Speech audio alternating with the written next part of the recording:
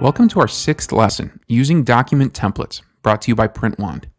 Our previous section covered properly sizing our artwork for use in our documents, and this lesson is going to discuss our document templates that we use to put together our files. So here we have a sample template of a folder that we're working on in Photoshop. Let's go ahead and go up to our menu bar, we'll go over to Image, and then Canvas Size. We can see here that our document is a little larger than 20.5 by 16.5. We'll go ahead and click OK. Now let's first notice these tabs on the left and right side of our template. These are what our pockets attach to. And so they're both going to fold in, and then the pocket at the bottom of the document folds up, and it's glued to those tabs, creating a pocket. For right now, we don't need to worry about them at this point, but just so that we can note and see what they're, what they're doing there. Let's move over here and we'll take a look at our layers palette.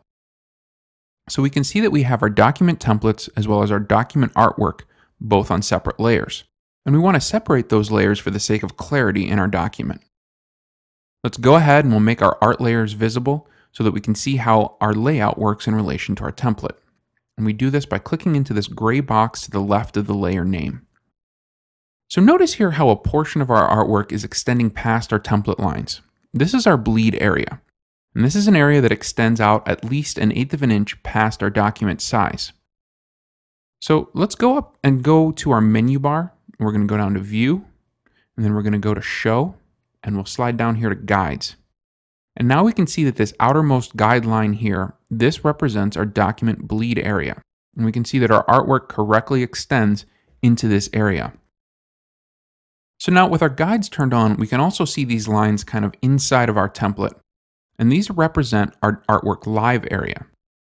They're located a quarter of an inch inside of our document area.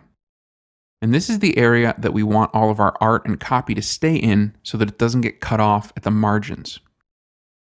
Okay, so let's go back over to our layers palette and we're going to toggle on our live area layer. Now, we don't have to have a live area layer on our final document, but I'm kind of showing this to you for the purposes of clarity so you can kind of see where things lay out and why they lay out the way they do. We can see that everything is lined up and laid out correctly on our document. Everything falls within our document template and lines up with our guides. But if we notice here, there's these groups of markings on the bottom of our template on the pocket.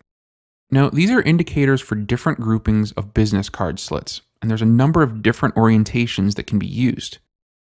What you want to keep in mind is that after you've selected the area that you want to use for your business cards, it's important not to place text in that specific area. Otherwise, it's going to get covered up by the card and you're not going to see anything that's behind it. So there we have some tips to keep in mind when we're using our document templates. We want to make sure that our files are set up correctly when we're preparing them to go to print. Our final lesson is going to be talking about the differences between vector and raster artwork. So if you've ever had a printer or anyone handling your document ask you for these different types of files, this is going to be a really helpful lesson for you. Make sure to check back often to PrintWand for more video lessons as well as other articles to help you with your marketing and promotional needs.